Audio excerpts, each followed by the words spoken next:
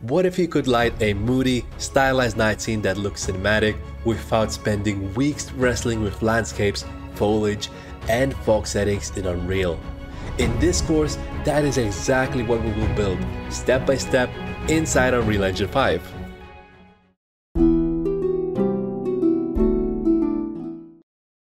Hello and welcome to Unreal Engine 5 Stylized Night Environment, VFX lighting, foliage, and landscape design.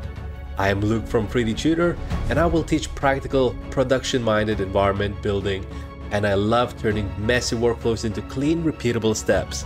We start with a fast gray box to plan composition.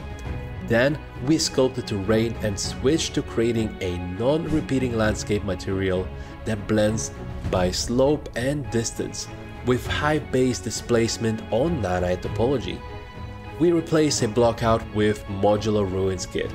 Tune the skies and stars, stack our volumetric for depth, add motion to the foliage, sprinkle in Niagara particles, and finish with the lighting and grading for that cool versus warm punch.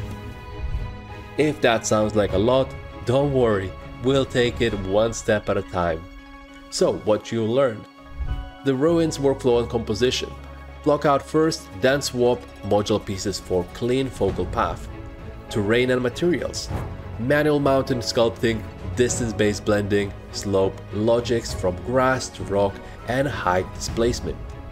Volumetrics toolkit, exponential height fog, drifting animated fog planes, and localized noise volumes that layer together convincingly.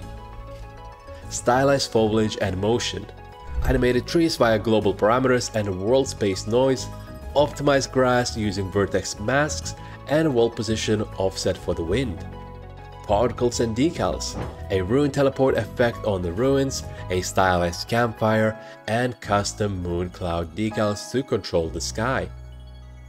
Lighting and color balance. With the resource pack, you receive a zipped Unreal Engine 5 project which includes modular ruins meshes, or seamless landscape texture sets with full PBR and height maps, and everything else you need to create this environment. By the end, you will not only have a finished night scene, you will understand why each choice works. How to control repetition on landscape, how to stack volumetrics without a foggy mess, how to make foliage feel alive without tanking performance, and how to push that cool versus warm balance so the scene reads beautifully at a glance.